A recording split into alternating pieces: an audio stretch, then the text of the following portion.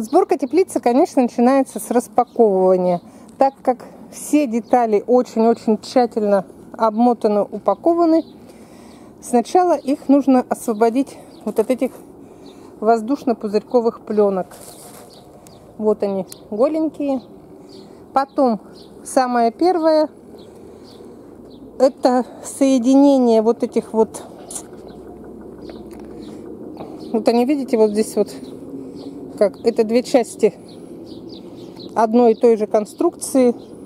Вот один правый бок и левый бок. Их все нужно соединить вот этими штучками. Что это? Это шайбочка и болтик, наверное, да. Собирает, конечно, муж. Я даже название этих железок не знаю. По железу я не спец. Это его епархия. Я сюда не лезу. Надеюсь на то, что он соберет все нормально. Пока что вот распаковали, собрали вот эти. И промазывают они там фундамент деревянный, на котором она будет стоять. Потом эти готовые части они перенесли вот сюда на место, где она будет установлена. Вот так они выглядят в собранном виде. Следующим этапом было, они вот эти торцы закрыли поликарбонатом. Вот один торец, вот второй торец. И стали их, ой, сейчас я отодвинусь назад, как бы не упасть. И стали их устанавливать, вот эти вот, как их называют-то, ну, ну, короче, все эти боковые стойки. И вот сейчас они до конца, до сюда дойдут все это установят, тогда уже будет, будут накрывать бока поликарбонатом и крышу. Накрывать крышу самое сложное. И там же еще эти коньковый блок форточек для проветривания. Во-первых, высота такая, неудобно поднимать, но все это придется делать как-то. Пока что вот в таком виде. Это второй день сборки. Следующий этап это вот эти торцы, обшитые поликарбонатом, они прикрепили.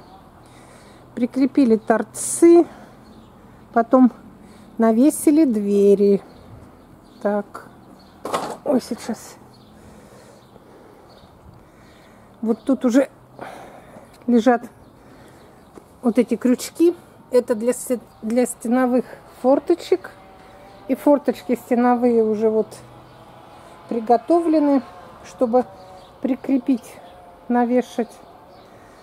В принципе, дом уже, каркас весь сделан. Остается только его теперь закрыть поликарбонатом со всех сторон. Здесь все прикручено. Тут вот эти уголки для усиления Тут вот эти тоже варены, все это для усиления, чтобы не обрушалась она. И, конечно, вот эти, если вот эти прогончики, они тонкие, то вот этот вот труба, он, наверное, 4 на 4, он квадратный, очень толстая. Ой, извините, руки как всегда грязные. Я его даже не могу вот так рукой обхватить. Видите, какая сильно Тут, короче, везде разные. Те, которые вот несущие, вот такие сильно толстые. Те, которые вот эти, уже 4 на 2, наверное. Ну, короче, они как уже не квадратные, а прямоугольные штучки. Вот видите?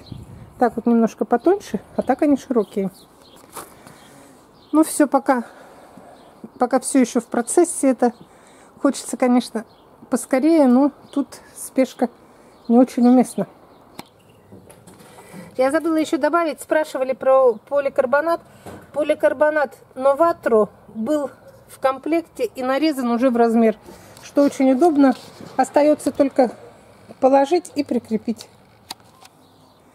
Потом понемногу обшиваются бока поликарбонатом.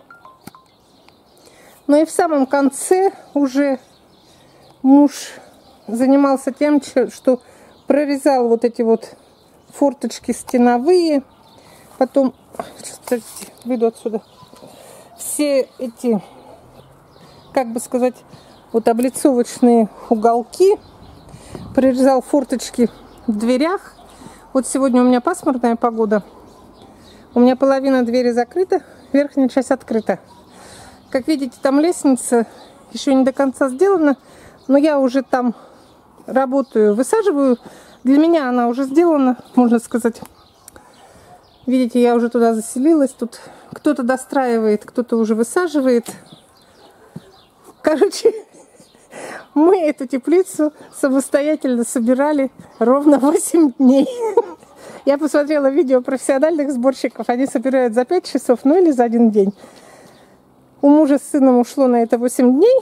Ну, потому что это непривычное для них занятие. В основном вот эти сложные форточки там вырезать.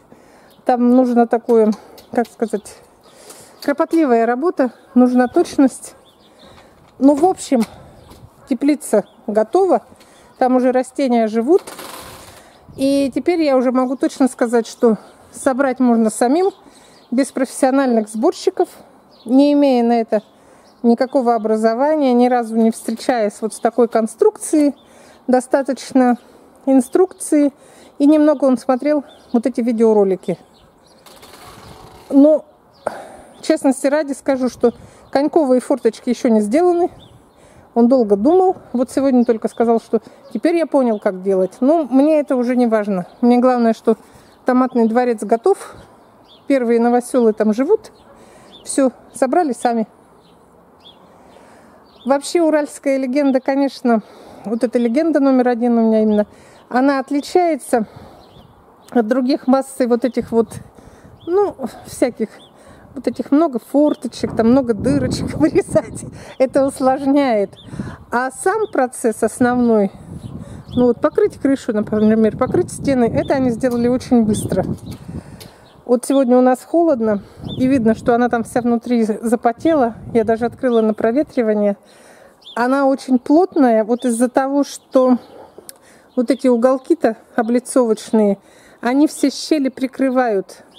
И там вчера, когда было холодно, а мы там работали, я там вся вспотела, потому что там, как в бане, она, можно сказать, что непроницаемая. Но с другой стороны, в ней много дыр, которые мы можем открыть. Раз, два, три, четыре. Со всех четырех сторон света дырки. И еще пятая. Ну как это?